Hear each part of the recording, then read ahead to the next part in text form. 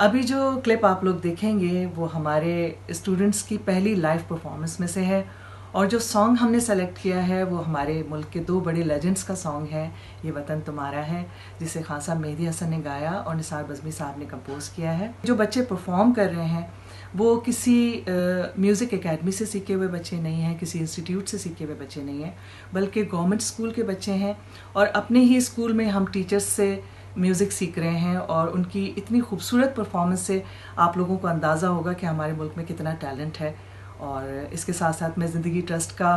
बहुत शुक्रिया अदा करना चाहूँगी कि आज जिनकी काविश का मैं हिस्सा हूँ। और ये सॉन्ग हम सब की तरफ़ से हमारे लेजेंड्स को ट्रिब्यूट है।